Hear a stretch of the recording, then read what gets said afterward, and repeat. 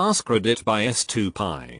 Women of Reddit, what do you think about the fall of Constantinople in 1453 by the Ottoman forces led by Mehmed I? I'm not a woman but I just texted a girl I know asking her opinion and she told me to never text her again so I think she's upset about it. It's a sensitive subject. Well I'm a Greek woman and I'm doing my masters in history and have done a paper on the music about the fall of Constantinople. In summary, the fall of Constantinople was kind of inevitable. The empire was in its last legs, due in large part to the, the fall during the Fourth Crusade in 1204. It had a lot of internal and external problems. For example, Constantinos Palaiologos was never officially coronated, due to religious infighting. The Ottoman Empire had already conquered all of the farmland around, and was right to go for the kill at the time that it did. It conquered a great strategic and cultural landmark. The Hagia Sophia had already become a mosque in the 29th of May 1453, 2.30 in the afternoon. It's a pity for my heritage, but at that time I think it was inevitable. Edit. WTF guys thanks. Oh oh. Edit number 2. Actually no, guys, the paper wasn't on They Might Be Giants. It was on Greek folk laments on the event of the fall, and how accurate were their lyrics in relation to the actual event. They were fairly accurate, also deeply sad and lamenting the loss of a symbol, mostly, not the city itself. Finally a serious answer to the question. It was very sexy of him to move the ships overland.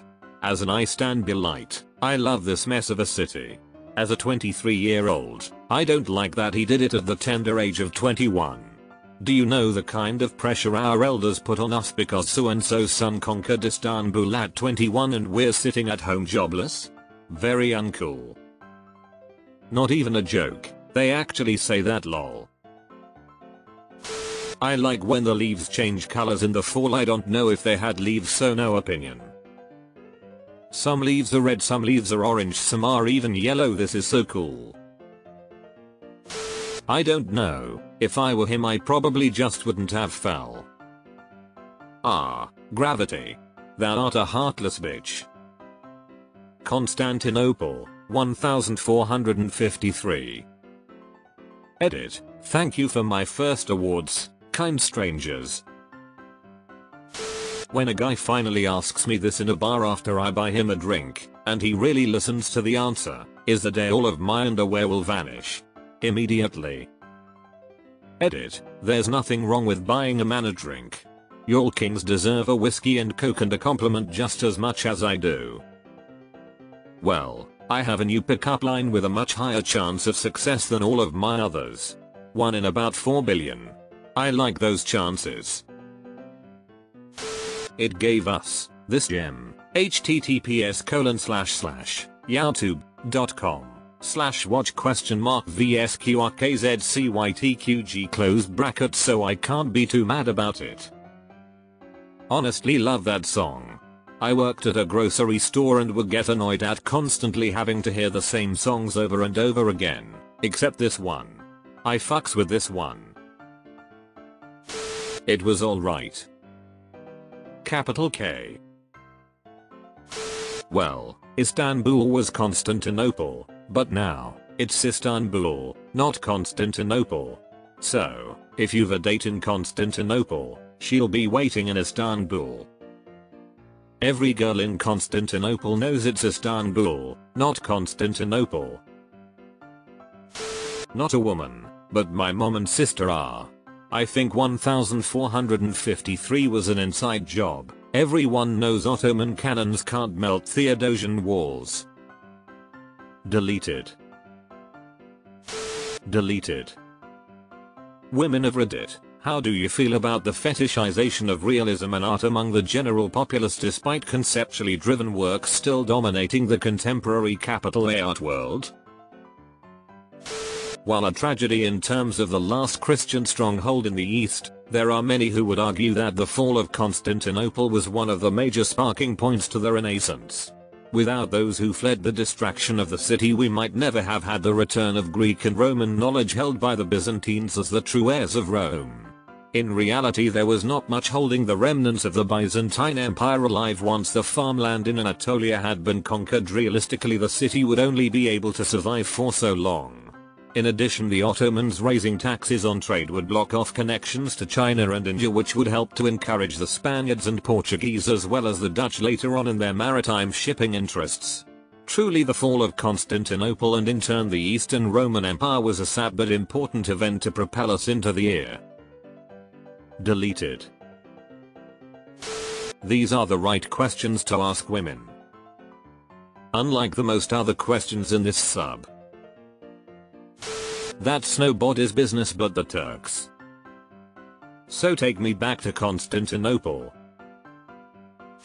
There's his awesome docu drama about him taking over the city on Netflix. That man was a strategic genius. Since many people are asking for the title of the show, it's Rise of Empires, Ottoman. There are dozens of Turkish documentaries and films that have much better production and script about the same subject. However they all convey some kind of national pride in them. This show portrays both sides of the conflict in a very objective manner and as for someone who thinks history should be taken into account from every possible perspective this show is great for that. Am woman of Reddit Honestly if it wasn't Mehmed, it would have been another Ottoman. Besides, calling yourself the Roman Empire in the 1400s is just gauche. Calling yourself the Roman Empire in the 1400s is just gauche. Angry German noises.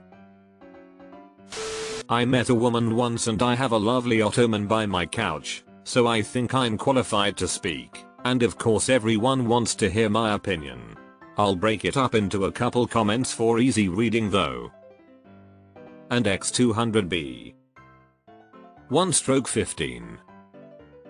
Still waiting for 2 stroke 15. You forgot the single part. Only city in the world that lays on two different continents. It's magical. Duata or Orenburg, Magnitogorsk, and Suez mean nothing to you? I like your funny words, Magic Man. Lol, recycled jokes. Took me more than a second to realize that it's not our historionyms. I need more coffee. Deleted. Username checks out. Not a woman, but my sister thinks Memdai took all the credit and it was actually his close advisor Akshamsaddin who did all the heavy lifting. Edit. I want to be clear. I just googled Memdii and came up with a bullshit theory to play along with the joke of the OP. I don't know a thing about this subject in practice lol. The real reason why they fell Constantinople. It wasn't just to fall, its main reason was because that was the bridge which was connecting the eastern Ottoman lands, Middle East, to the western part, Europe. They only had a connection through sea so they had to get a land connection. Also, the Byzantium there was getting solid ears from Europe to attack several parts of the Ottomans. That way it had become the most important job for them. Many sultans before Memdii tried it but failed. Memdii was 17 years old when he got a sultan and was successful on taking in Constantinople with 21 years.